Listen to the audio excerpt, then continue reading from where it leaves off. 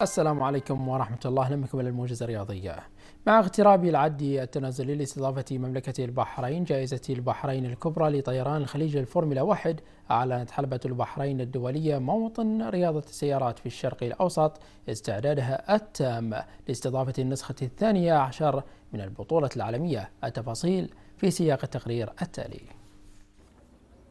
أيام قليلة فقط تفصلنا عن استضافة حلبة البحرين الدولية للنسخة الثانية عشرة لجولات بطولة العالم للفورمولا واحد حيث يمثل هذا السباق إحدى أقوى الفعاليات التي تضع مملكة البحرين وبقوة على الساحة الدولية لهذه الرياضات. وسيقام هذا السباق في الأول والثاني والثالث من شهر إبريل المقبل على مضمار مميز ضمن 21 سباقا للفورمولا واحد حيث سيقام السباق الليلي الثالث هذا العام ما يجعل حلبة البحرين موطن رياضة السيارات في الوطن العربي.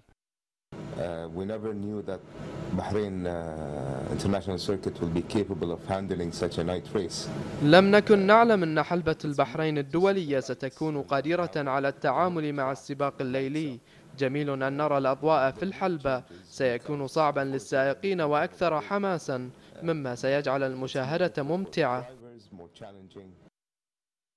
ويعد سباق الفورمولا واحد الوجهة المفضلة لمحبي رياضات السيارات حول العالم لحضور السباق والاستمتاع بمختلف الفعاليات. رياضة الفورمولا واحد هو حدث دولي يجذب الكثير من السياح إلى البحرين وخاصة من هم هواة رياضة السيارات. كما ويعتبر هذا الحدث الكبير والهام في مملكة البحرين رافدا وجاذبا للحركة السياحية في البلاد حيث يعول عليه الكثير من أصحاب الفنادق والمنشآت السياحية في مملكة البحرين نظرا لما يستقطبه من جمهور كبير من مختلف الدول والأقطار العربية والعالمية بالإضافة إلى محبي سباقات الفورمولا واحد من داخل مملكة البحرين.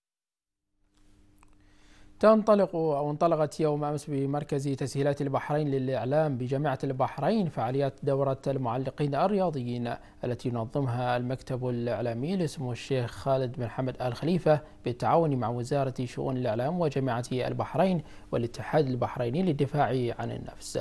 تحت شعار أطلق حماسك وعلق. وذلك بمشاركة نخبة من الإعلاميين والرياضيين إلى تكوين جيل من الشباب البحريني القادر على ممارسة التعليق الرياضي وفق أسس احترافية وعلمية بالإضافة إلى تنمية قدرات وإمكانيات الشباب في هذا المجال.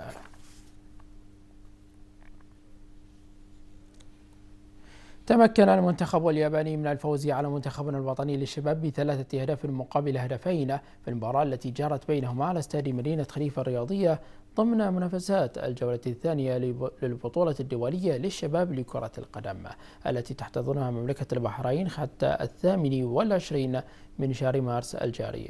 وجاءت أهداف منتخبنا الوطني عبر كل من طلال النعار ومحمد جاسم بينما سجل المنتخب الياباني كل من كيمايوتا وهيروكي واللاعب أوغاوا كوكي.